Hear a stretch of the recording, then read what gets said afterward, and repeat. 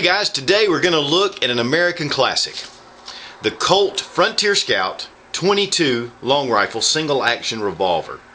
Now these were designed in 1957 to compete with Ruger's single six which came out in 1953. Unfortunately for Colt, they never quite took the share of the market they needed to keep making these, but they did make them until 1970, and then they came out with the new Frontier Scout and Peacemaker. They're, they're all discontinued now, but these are really incredibly made little pistols, and a classic that just keeps going up in value.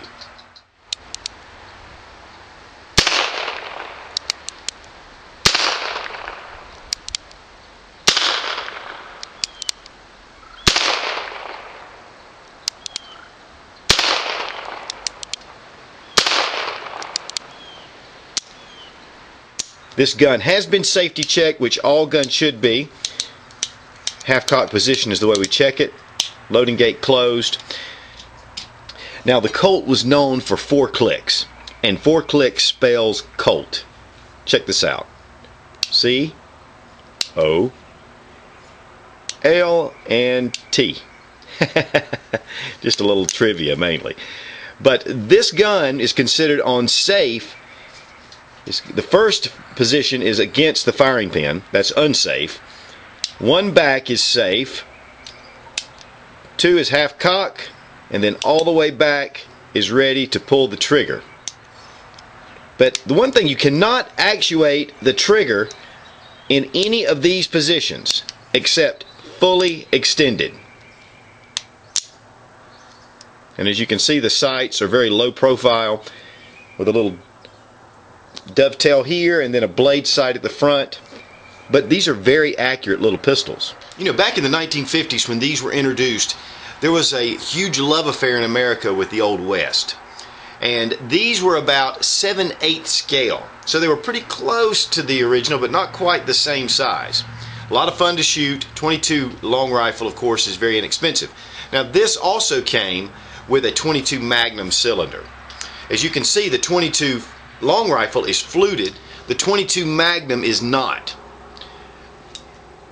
But these are very versatile, great little gun. Pleasure to shoot. Now these single action revolvers cannot be carried fully loaded and remain safe. And what I mean by that is this holds six rounds.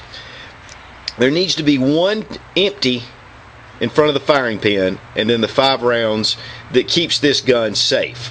Uh, the second version of the new uh, Frontier Scout did have a transfer bar here for safety like Ruger does, which that makes it very sa safe. But the early Rugers were also recommended to only hold five rounds. In fact, the, the Colt um, owner's manual itself said only five rounds in the chamber.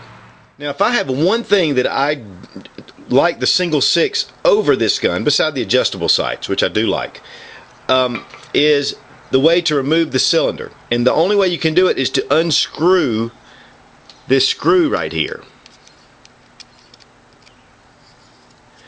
You have to un actually unscrew the screw, and I've actually loosened this before just so it wouldn't take so long, and then pull it to half cock, and then you pull your, your pin out. The loading gate has to be open to remove the cylinder as well. Then you can clean, inspect, or change it into the 22 Magnum cylinder, which we have right here. Then to reassemble, loading gate of course has to be open. Now this pin will go deeper than it needs to.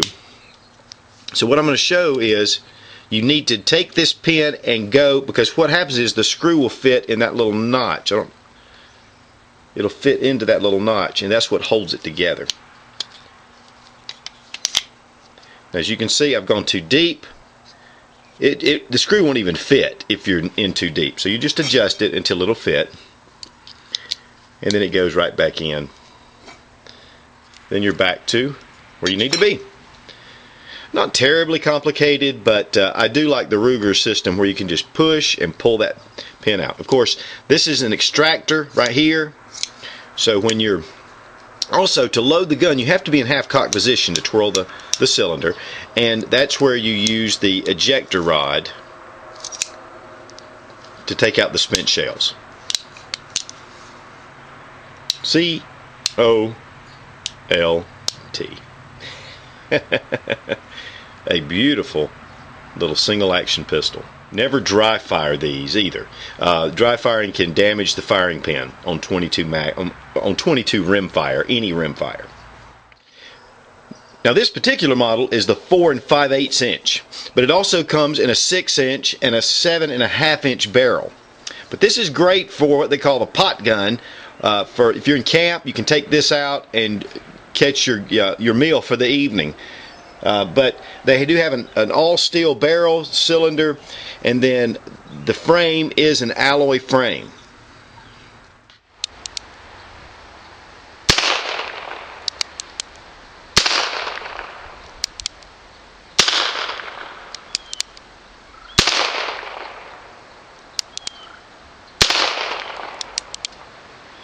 And as always, thanks for watching. Please subscribe for more fun gun reviews and sensible survival.